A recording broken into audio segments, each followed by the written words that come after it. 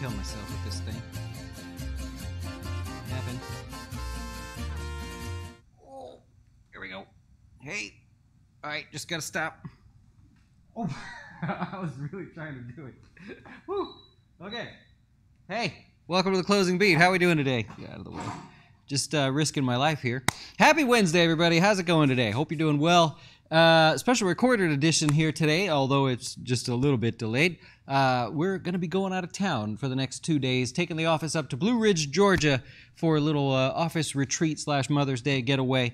So um, won't be any show tomorrow or Friday, but you know I'll be watching. Maybe if we're up there and we take like the cameras, we could do a little something, but uh, we'll see. I appreciate you guys joining us here for today. We talk about the stock market, all that good stuff, and uh, usually don't risk our lives, but we were having a little fun with that here earlier today. Uh, let's take a look at the stock market, see what's going on here today kind of a mixed bag. I, you know, not much to get real excited about. If you go over to the stock market, I'm gonna start with the Nasdaq here because the Nasdaq's really struggling. You don't like the showing that you had today if you're a Nasdaq investor.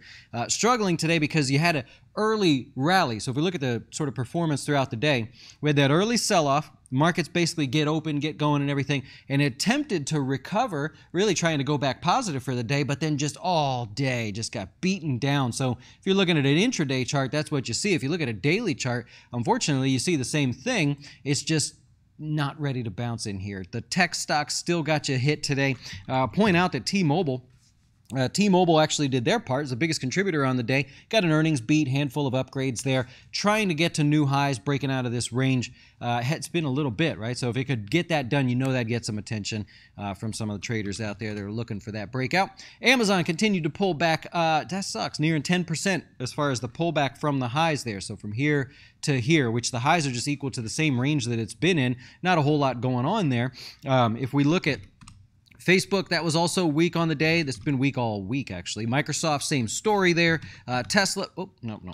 Tesla continues to pull back ever so slightly there. Uh, they basically all just continue to take the hit from yesterday. That's what we've got going on in the old NASDAQ there. If we go over to the Dow here today, it held up the best uh, thanks to financials, right? So financials continue to do their thing there. Uh, it was the Dow was the best index here today. And if you look inside of it, uh, let's go JP Morgan. There you go.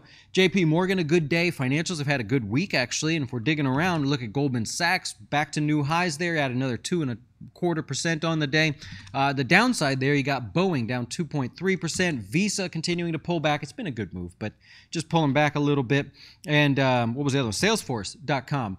Uh, still in that downtrend. We highlighted that yesterday. That one continues to be the drag there. Also, what was strong, United Healthcare, largely took a break. I mean, it was still positive on the day, but it largely took a break from its really strong rally to start the week there. So we didn't have that normal support that we'd had uh, that we've been seeing this week so far. Uh, nonetheless, the Dow's still up about 12% year to date. Still remains in this tight range. It is the tightest of all of the indices out there. Not horrible, but still losing a little momentum. And I'll take you back to the conversation yesterday. The catalyst. What's the catalyst to get us going there? I don't. I don't see it yet. So uh, with that in mind, you look at the Russell 2000 small caps today, uh, particularly small cap growth stocks. They were hit the hardest. The index was down about a quarter of a percent um, it, for the day. Um, it's kind of weird because if you look here, the end of last year into the beginning of this year this year, we started off with that 20% rally. Small caps were where it's at. It was all exciting there. But in the last one month, we just go back here and go, well, let's see, about one month ago, it's uh, basically down 1%, less than 1% in one month. So a whole lot of nothing going on in the Russell, but that small cap growth is getting hit, so that could start to pull the Russell back a little bit. Uh, S&P was the best performer over the last month, speaking of the last month there, uh, but it's been flat recently. So last month, you got decent gains there, everything looking good. And then just the last week and a half or so, just not a whole lot going on. I pointed it out in our notes from Jazz email, how we had all these earnings come out from the big names, the big weighted stocks in the S&P. That's basically done and over with. And the Russ, uh, the S&P basically did nothing. Since last week, at this time, it is flat. It's lost 0.35%, which we would just call that flat. And you can't blame that on energy, so I'll go over to the sector breakdown. We'll talk about energy here real quick. That's a nice transition.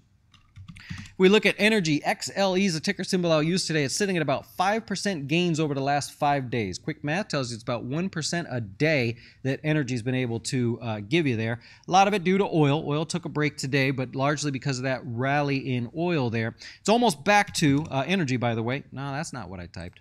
There's a little bug in there. Um, Energy's almost back up to that 40% gain year to date. Uh, some of the best performers this year have been Marathon Oil. Fang has been one of the bigger gainers. Remember in my New Year's resolution email or New Year's prediction uh, video that we did, I said Diamondback Energy. I like that one there. It's the biggest gain, one of the biggest gainers so far. 74% uh, there for the year. Even the weakest stock in the XLE is still up 7% year to date. Not one single stock in the energy sector is down year to date there. Energy's been really one of those underrated, uh, well, I'll say underreported areas there. If you were to look at something like an ARK, ARK investment, they get all the energy. It's like, yeah, that's great. Lots of volatility, and they have performed, outperformed energy in the long run. But this year, energy is beating the ARK investment fund by 50% right? So energy's up about 40, ARK is down about 10, 50% spread there. Uh, so I'm not saying that that's something you would choose. I'm just saying look elsewhere sometimes. You know, look to see under the surface what people aren't talking about. You find a lot of good stuff there. All right, going back to the sector breakdown, you got materials. They were, uh, well, materials and financials were basically the leaders again. What's been strong this week continues this week. That's basically the way to look at it. If you look inside of basic materials, not the most exciting area, but remember you learned yesterday that Linde, L-I-N, makes up 15% of the sector, and it had another great day reversing all of yesterday's losses and then some. And then you have the same names. Freeport McMoran, FCX doing really well. New 52 week highs there. Nucor, NUE. I like I said, I was just telling a client the other day they wanted to sell it, and I was like, wait, wait, you know, you you may see this thing over a hundred dollars in a not too distant future. It's a lot faster than I would have thought there. So Nucor uh, rapidly approaching the hundred dollar mark. You got Albemarle also had a good day, uh, three uh, percent uh, yeah, 3% on the day uh, for Albemarle. Still the biggest gainers there. They're all, I mean, I would say uh, Nucor is getting a little extended now, so maybe maybe something not to chase. But uh, basic materials there now up over 20% year to date. we go and look at some of the other sectors there, uh, financials I mentioned a second ago, also continuing with its rally. Second best performer year to date uh, today was mostly a broad rally, I will say, because the big banks like J.P. Morgan, Citigroup, Bank of America all did well today. Your big money center type banks there. Even Wells Fargo had a good day, uh, half a percent gain, not too bad there. Um, I would note that some of the exchanges held you back. S&P Global, SPGI down one and a quarter percent. Uh, MarketAxess, we talk about that as being an exchange, breaking down today. Kind of a cool looking pullback shaping up there. And Moody's also pulling back just a little bit. So just kind of noted that that area didn't hold up today. Uh, you've got uh, real estate and utilities, your worst performing sectors on the day. Real estate's really just seeing kind of a a profit taking pullback. That's all I would think this is. Um, you got rates basically stable. Janet Yellen walked back everything she said yesterday. Everybody pretty much, well, most of the Fed members saying we're good for now. We're going to need to see actual data before we start raising rates or tapering our bond purchases. Nonetheless, you got a little profit taking going on there. Um, utilities got this pullback, I believe, because of the uh, the whole Biden uh, green approach with the vehicles and make them all electric and uh, obviously what's going what's been proposed and everything. So I think that's a little bit there. People saying I don't know with with rates potentially rising, uncertainty there. We got a lot of stuff moving towards that green energy. Not sure that that means good things for traditional utilities, and so uh, that was the worst performing sector of the day. If we go to new highs and new lows for the day, what do we have? Uh, I think what like 80 something of them, 86 new highs on the day, and uh, financials had the most of the uh, names on the 52 week high list. But if you're looking around, you got Under Armour breaking out there. Uh, nice strong move to new highs. That's also a fresh technical breakout, which makes it a, uh, gives it an extra point there. Uh, Newell Rubbermaid, you know who they are. Uh, so this is that breakout from uh, from about a week ago, actually, a little less than a week. That's continuing just consistently. That's what I like to see. I don't like the Nucor stuff so much, where or even like Dogecoin. You don't like to see things just tear off like a rocket ship, like this right here, just this nice consistent. That can keep up. Look what happened before. Not too crazy. That can keep going. Add you a little 10, 20% move there. So we'll see what happens there. Now, Nucor also hit new highs, like I mentioned. It's just extended. So now you're looking at this like maybe a UPS. Uh, UP. UPS, there you go. So I actually uh, sold the 210 calls just a little bit prematurely, obviously, uh, but still, that one now starting to say we're too extended. Maybe this pulls back, so I'm hoping for good things there. But that did hit 52 week highs as well. And then Caterpillar, just thought that was a cool breakout. We've looked at this one a couple times, finally breaking out here uh, with a little more convincing volume, a little bit more of a convincing day, and those are your new highs of the day. Stocks in the news. There, there was actually quite a bit going on out there. You had Lyft. It's not coming up. L Y F T. There you go. So Lyft selling off today. Uber reported after hours here 6.3% to the downside. Uh, loss was less than expected. Can't blame them there. Revenues came in a little bit better than expected. Uh, riders up and everything. I'm not I'm not disappointed there. Remember they lose money, so it's a tough one there. And Uber basically moving on from the autonomous driving thing and everything. So that's coming out as we're this you're watching this now. Um, but still, rough day for Lyft. That one's in the news because of earnings. Match.com was also earnings. Uh, they did beat. They raised their guidance going forward as well. Stock ends up about 3.5% today. It was a volatile day. It's also known for being one of the more volatile stocks on earnings. They lived up to their names here today. Um, what else did I have for you extra on Match.com? Free cash flows up over 40% for the quarter, and they beat their subscriber count by 12%. Uh, year over year. So I thought that was interesting. Uh, Activision Blizzard also in the news. They reported earnings. I believe they beat on earnings as well, up about a percent and a half. Um, kind of an interesting one here. So Call of Duty is there's three segments, right? There's Activision, there's King, and there's Blizzard. So Activision Blizzard, King. That's how this works. Um, Activision is Call of Duty. So if you're looking at something like that, monthly active users for uh, mainly because of Call of Duty up 50%. So right away I read that and I'm like, okay, I got to look further here because I know Activision, uh, that division is like half of their overall uh, revenues for the year. So half the business essentially comes from Call of Duty there. Um, so it's a good thing that obviously those were up there. Blizzard, uh, that division, which is like more PC gaming, uh, Overwatch League, if you're familiar with that there. Um, that one uh, was about 23% of their revenue. They had a weak quarter. King also had a weak quarter as well. You probably recognize some of the King names down 5% uh, actually for that quarter. Now, one thing that stuck out to me was, and maybe this is partly why the stock sold off here. We go back to the charts. Uh, what is that? Stocks in the news. Um, profit margins tightened up you would think that if there's more users, 50% more users, that profit margins would stay steady or be good. Uh, well, actually, if you read a little bit deeper there, when I noticed profit margins got tighter, I looked into it. They had tons of monthly active users and their margins tightened. That's because Call of Duty and some of their mobile games were actually free to play. So that's why there were more monthly active users. Didn't generate extra revenue there. And I think that's going to hurt them a little bit as people look a little bit deeper, uh, maybe into what's going on there. So uh, we'll see. Just a little bit more details there for uh, stock uh, to report earnings for you. All right, New York Times, uh, good sell-off today. A little bit, uh, I would say, extended, climactic, parabolic to the downside. Three and a quarter, three quarters percent on the way down there.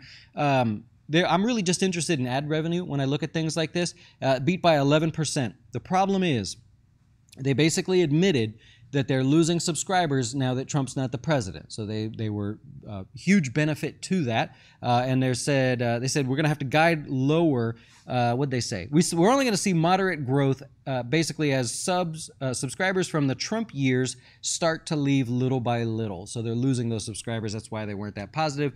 That's obviously going to hit the stock, right? Something there. Office Depot, yeah, they're still public. Office Depot is going to be buying back $300 million worth of shares. They beat on earnings and they're going to spin off their B2B business. That's a big deal. B2B business, uh, which is like selling Office Depot branded products to other uh, businesses. You see the trucks driving around and stuff. That has now ramped up to 50% of Office Depot's sales, right? Why is the stock up 8.7% today? Call it 9%. Because B2B is where the money's at. They're going to spin that off into a separate brand. Remember, uh, last year the year before, Staples wanted to buy Office Depot for that very reason, and they said, no, we're not going to sell the business. They didn't sell to Staples. But now they're going to spin off the B2B business and they're going to leave the retail business. I bet you they let Staples buy that last chunk there, but we don't want any part of that because the money's over here. So that's going to be spun off there. If you happen to own it, that's something you need to know there, in my humble opinion. Uh, and what else do we have here? Denny's. I actually like looking at Denny's earnings here. I'm a kind of a Denny's fan. Uh, you go to Denny's often? Grand Slam. Grand Slam. That's where it's at. Yeah. yeah. All right. I used to go there all the time. So Denny's has got a little place in my heart. When earnings come out, I'm pretty interested there. I always listen to what the president of the company says. Uh, he's the one that's the most specific there. And uh, so here's the thing with Denny's: they need to hire 20,000 people but they can't do it. They tried to hire 20,000 people. They cannot hire that many people. So they hire an outside team to start a whole campaign job fairs, career fairs, websites, link up with all the other job providers out there. They need 20,000 people. They can't get it. Um, they also said that they're going to focus on opening more stores in the conversion format. So what they're doing you know, the president was saying like, ah, you know, it's sort of sad that you know companies are shutting down and all that. But that means there's open retail space. What they like to do is go into those open retail spaces, refurbish it, franchise it out. That's how they make the most of their money. It's 60% less costly for them to do that. So if you ever notice a weird looking Denny's, that's what they're doing. It's just a lot cheaper for them to do there. So um, I don't know. It's probably not interesting to everybody. Who owns Denny's, right? Like, do you look out to buy Denny's? I just I always find that when they come up with earnings, I, I just like to take a look. Hey, and Peloton, yeah, we got to mention Peloton. Falls 15% today.